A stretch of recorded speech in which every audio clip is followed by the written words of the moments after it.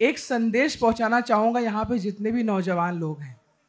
क्योंकि साढ़े तीन वक्त का समय है, साढ़े तीन मिनट का मिनट है तो उसमें हम कुछ संदेश पहुंचाएँगे कि मोहब्बत में मोहब्बत में जब दिल टूटे तो तुम गजलें लिख लेना। मोहब्बत में जब दिल टूटे तो तुम गजलें लिख लेना। इस जहाँ से रुखसत होने से पहले इस जहाँ से रुखसत होने से पहले अपने माँ बाप को ज़रूर देख लेना। इस जहाँ से रुखसत होने से पहले अपने माँ बाप को ज़रूर देख लेना। उस दो घड़ी, दो शाम और दो रातों की याद सभी को नज़र है कि उस दो घड़ी, दो शाम और दो रातों की याद में अपने माँ बाप का सूरज मतस कर लेना। अपने माँ बाप का सूरज मतस कर लेना और दो लाइनें सुनिएगा। राम जी जैसे जब अपने, क्या कहते हैं अपने महल को छोड़कर जा रहे थे तो उन्होंने किसी को नहीं देखा।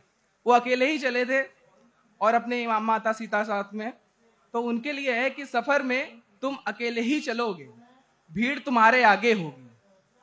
सफ़र में तुम अकेले ही चलोगे, भीड़ तुम्हारे आगे होगी। और जब पहुँच जाओगे ना, सुनो कि और जब पहुँच जाओगे ना तो भीड़ तुम्हारे पीछे होगी।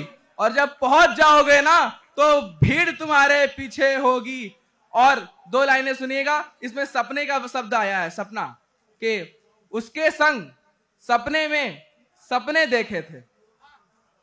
उसके संग सपने में सपने देखे थे, लेकिन अब वो मेरे सपने में भी, मेरे सपने में नहीं आ सकती।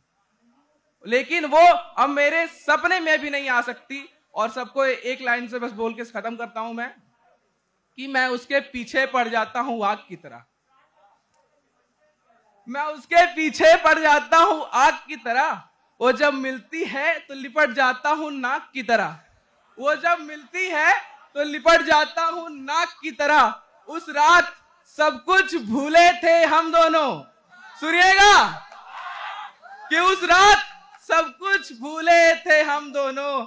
जब वो चढ़ने लगी थी हमें जाम की तरह।